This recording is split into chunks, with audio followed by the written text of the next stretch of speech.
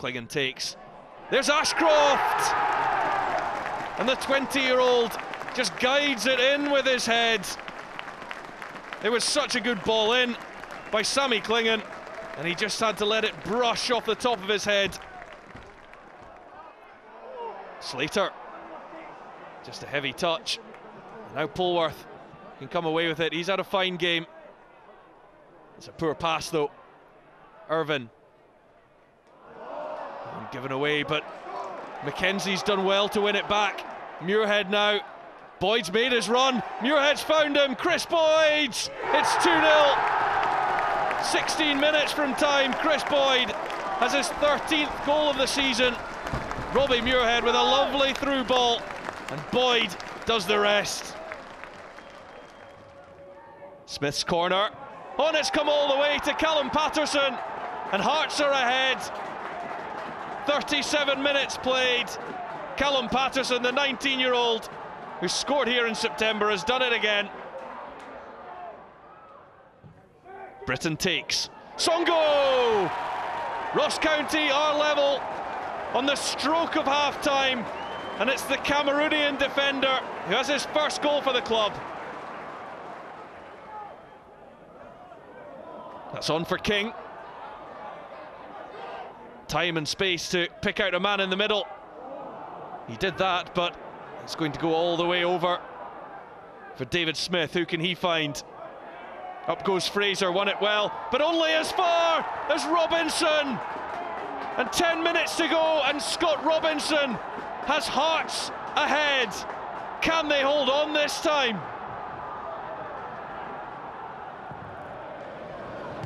McManus's header, and Motherwell have the lead two minutes into the second half. Stephen McManus with a bullet. Peter Pawlett couldn't keep it out. Ainsworth with the corner, and what a header that was. Niall McGinn easily cleared. Lawson robbed by McGinn who hits the shot. Oh, and here's Adam Rooney to score on his debut. Aberdeen are level. And it's Adam Rooney just signed this week from Oldham. McGinn's effort palmed away by Nielsen. He could have done much better with that after Lawson was robbed in possession. And here, twisting and turning the substitute. He's done well too. It's nice play this from Motherwell. Good ball across. Oh, and it's in. Aberdeen were only level for two minutes. Anier across and Zaine Francis-Angol has got the final touch. Both he and John Sutton are claiming it, but it's Angol's goal. Last chance saloon for Aberdeen. Reynolds gets up well. Oh, it's in! They have levelled it with virtually the last kick of the game. McGinn's corner. Reynolds went up, and it's Anderson who has turned it over the line. Three games without a win for Hibernian. Lost the last two, including that 3-2 defeat to St Mirren. Oh, and a mix-up at the back, and Commons is in, and Kris Commons opens the scoring once again. That's 20 for the season.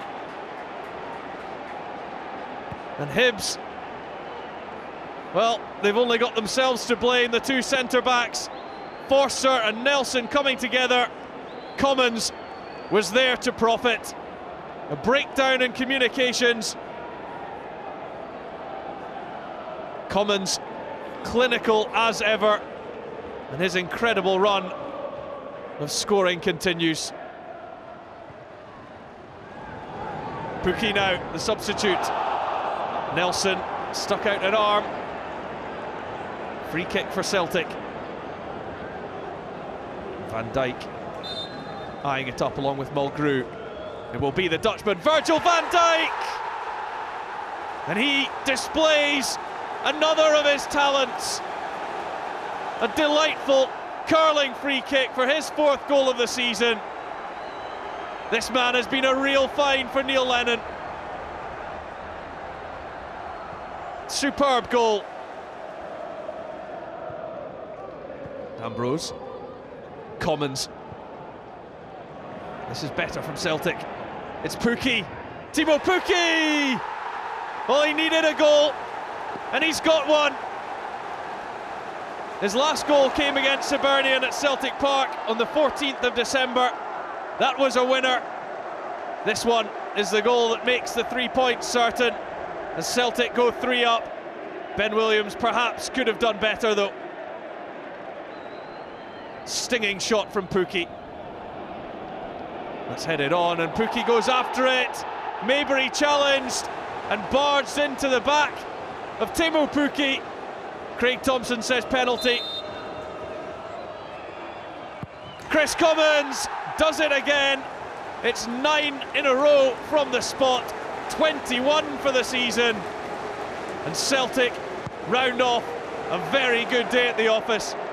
4 0 winners at Easter Road. It's 11 league wins on the bounce and yet another clean sheet.